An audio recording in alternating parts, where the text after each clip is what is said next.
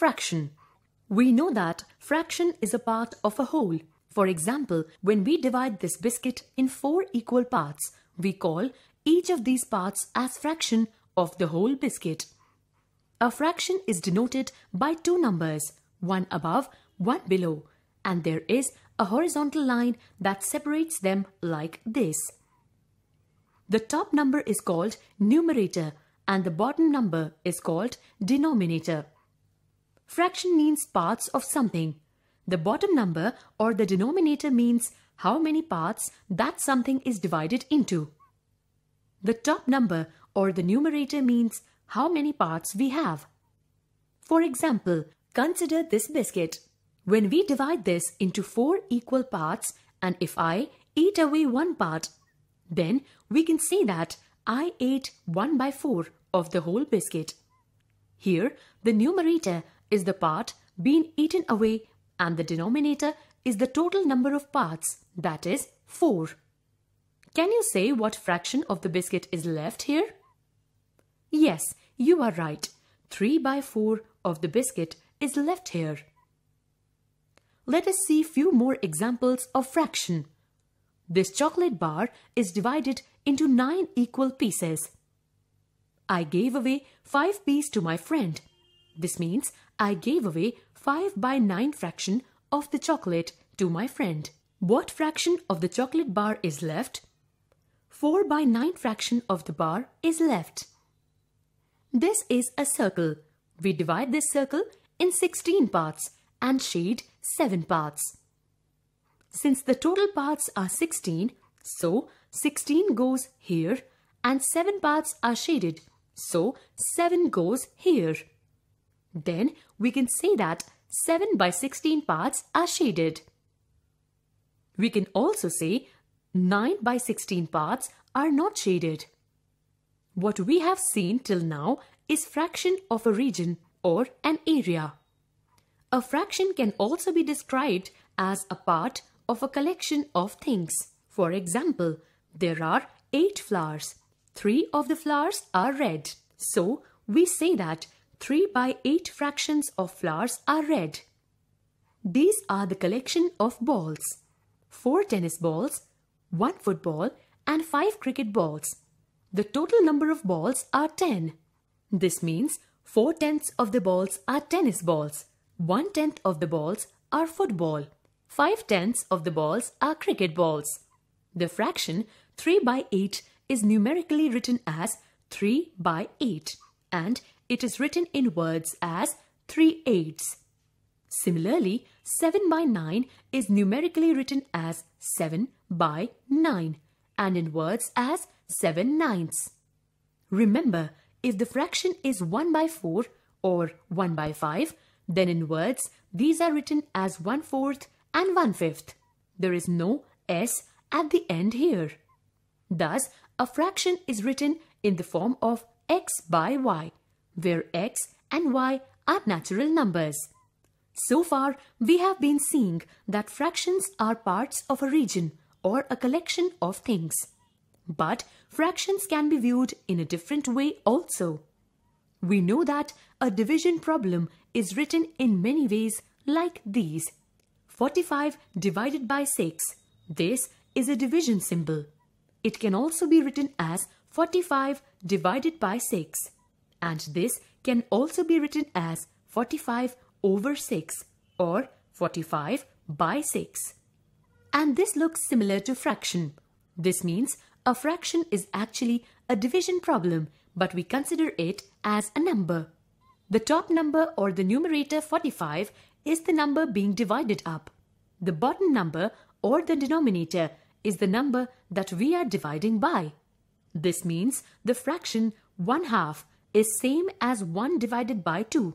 Similarly, 2 thirds is same as 2 divided by 5. Now, in division, we can have the numerator smaller than the denominator. For example, 5 divided by 6. In such a case, when we divide these numbers, we get a decimal number less than 1. But 5 by 6 in terms of fraction means 5 parts out of the whole 6 parts. Also, in division, we can have the numerator bigger than the denominator. For example, 8 by 7. In such a case, when we divide these numbers, we get a decimal number greater than 1. But 8 by 7 in terms of fraction means it is an improper fraction. It is not necessary that in a fraction the numerator is always smaller than the denominator. There are fractions in which both are equal or numerator is greater than the denominator. Fractions such as 5 by 6 represents part of a whole. 6 by 6 represents a whole. And 7 by 6 represents more than a whole. Let us do a review on different types of fractions.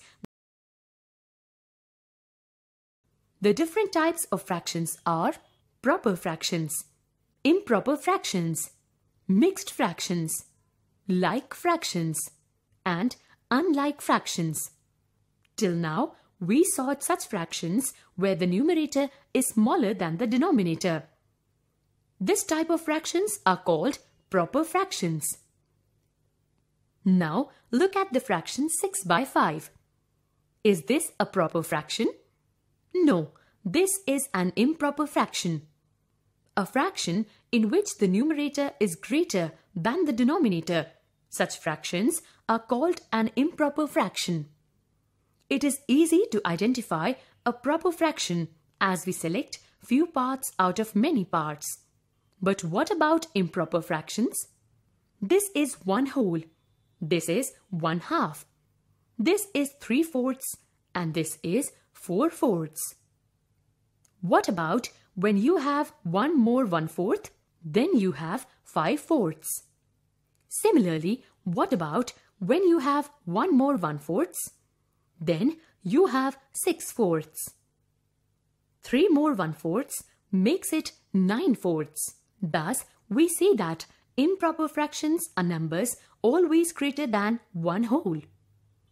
Now let us see the difference of like and unlike fractions.